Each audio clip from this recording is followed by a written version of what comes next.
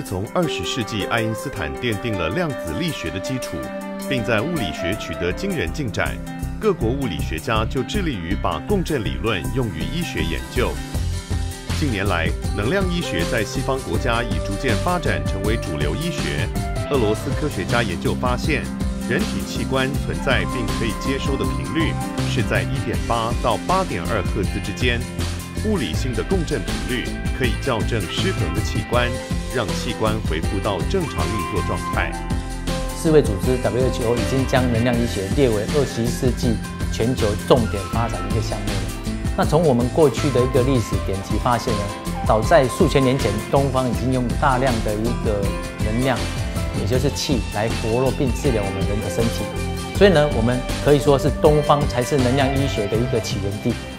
台湾渔业设备大厂近年来看准量子共振频率能量转植技术未来性，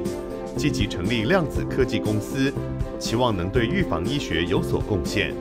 经过 Cube 光量子共振的一个专利专利制成技术呢，植入的一个产品，佩戴在我们人体身身上呢，可以产生频率共振的效果，能够提升我们生物能量。当我们的一个共振频率是和谐的时候呢，人的心理。身体跟情绪呢是可以达到一个稳定的一个状态，因而呢提升我们人体的自然一个抗压力及专注专注力啊，及降低电磁波对我们人体的干扰，让我们身体呢迈向原有的一个健康的一个状态。根据世卫组织的调查，有百分之五的人口是真正健康的，那有百分之二十五的人口是需要诊查治疗的。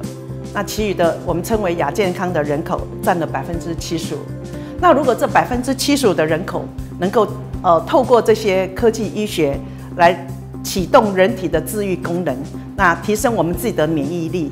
我想这样可以减少很多的医药资源的浪费，也可以帮助很多人。那这也是我们想要做的一个善的事业。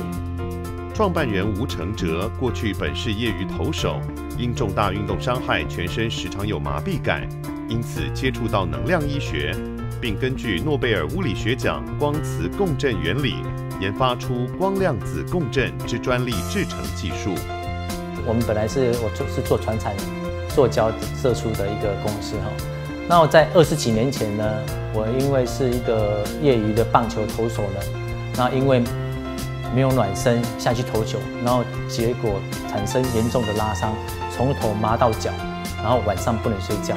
那就开始找寻所有的一个治疗的方法，然后才接触了东方传统的一个医医疗，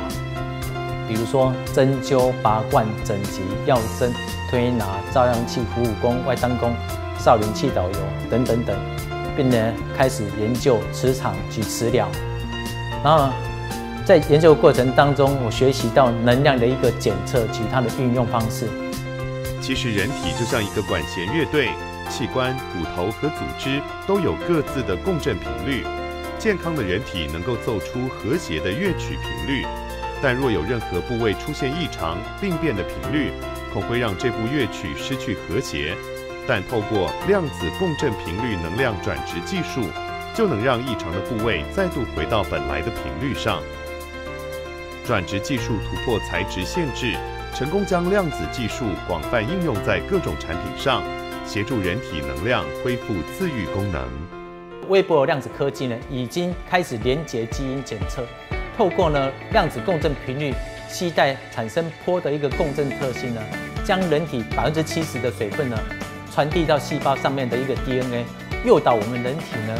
受损的及缺陷的基因片段呢，能够慢慢的自我修复，唤醒身体的治愈能力。使我们的疾病呢慢慢减低，运用 Cube 的一个共振频率转移技术来调控我们人体的一个基因开关，这是我们未来的一个研发的一个大方向。预防医学是医疗领域最后一块拼图，未来吴成哲也会持续研究量子科技，协助人们投资健康，免于疾病发生。科技生活化，生活艺术化，科技一定要融入我们的生活当中。那让我们的生活如同艺术般的美好，这是我们的愿景与使命。